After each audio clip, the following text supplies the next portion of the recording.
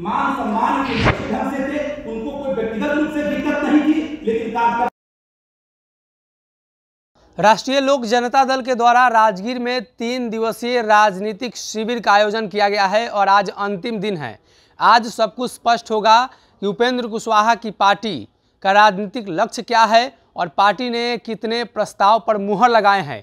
लेकिन ये तस्वीर आप देख रहे हैं, ये जो कार्यक्रम है राजगीर के इंटरनेशनल कन्वेंशन हॉल में हो रहा है और कहीं ना कहीं इस कार्यक्रम के ज़रिए उपेंद्र कुशवाहा आने वाले दिनों की रणनीति पर तय करेंगे। साथ ही आपको हम वो बयान भी सुनवाएँगे, जिसके ज़रिए स्पष्ट हो रहा है कि आने वाले दिनों में 2025 के चुनाव को लेकर कुशवाहा की पार्टी तैयारियाँ में जुट चुकी है।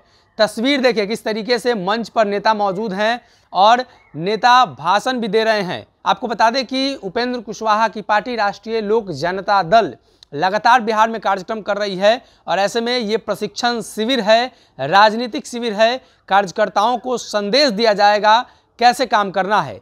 माधव आनंद, जो कि उपेंद्र कुशवाहा की पार्टी के राष्ट्रीय कमेटी के सदस्य हैं, प्रधान महासचिव हैं, उन्होंने मन से ऐलान किया है कि आने वाले दिनों में 2025 में बिहार का अगला मुख्यमंत्री उपेंद्र कुशवाहा को बनाया जाएगा और जिसको लेकर हम लोगों ने तैयारी शुरू कर दी है। सुनवाते हैं उनके बयान को। क्या कुछ कह रहे हैं माधवानंद? मिलता है और आगे भी मिलता रहेगा। यह बात हम लोगों ने अभी तक सुनिश्चित करने का काम किया है और आगे भी सुनिश्चित करने का काम करेंगे। और मैं पहले भी कहा था, सबको देखा बारी बारी, अब की बारी उपेंद्र कुशवाहा की बारी। और उपेंद्र कुशवाहा नहीं बनेंगे हम सब लोग जब जी जान लगा देंगे तो निश्चित रूप से वो दिन दूर नहीं है। दो साल का ही तो वक्त है। 2025 में ही तो बिहार विधानसभा चुनाव हो रहे हैं। पहले तो हम लोग का कमर कस लें मेहनत कर रहे सफलता तो मिलनी ही मिलनी है। और मैडम नेताजी ने बड़ा अच्छा कहा कि राजनीति में धैर्य की आवश्यकता है।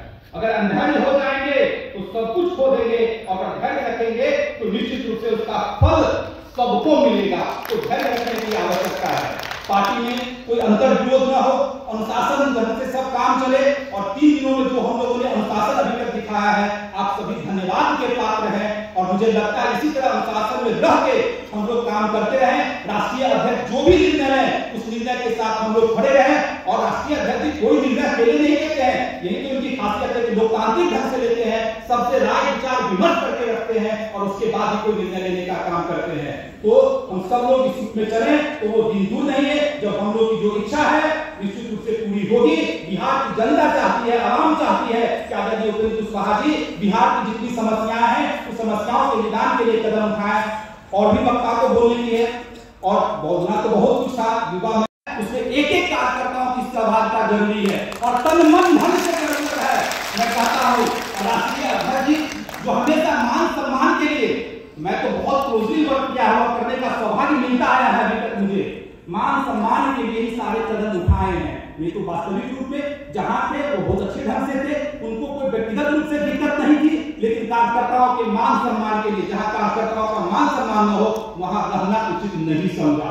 तो समय परिस्थिति के अकॉर्डिंग जब भी निर्णय में बदलाव की आवश्यकता महसूस हुई, आदरणीय अध्यक्ष जी ने, और वह भी बदलाव, कोई ऐसा नहीं एक तरफा अगर ये वीडियो पसंद आई और वह बिहार के राजनीति और बिहारियत से सरोकार रखेनी तो सब्सक्राइब बटन दबा के चैनल के सब्सक्राइब कर ली। ओजे एगो घंटी बा। ओकरा बटन दबा देला से कुल सटीक और मारक खबर रुआ मुफ़्त में मिल जाई। अगर रुआ पत्रकारिता के हमनी के नया प्रयोग में सहयोग कर चाहतानी तो ज्वाइन बटन दबा दी। पेटीएम नंबर नोट कर ली nine three eight six eight one six seven double zero. धन्यवाद।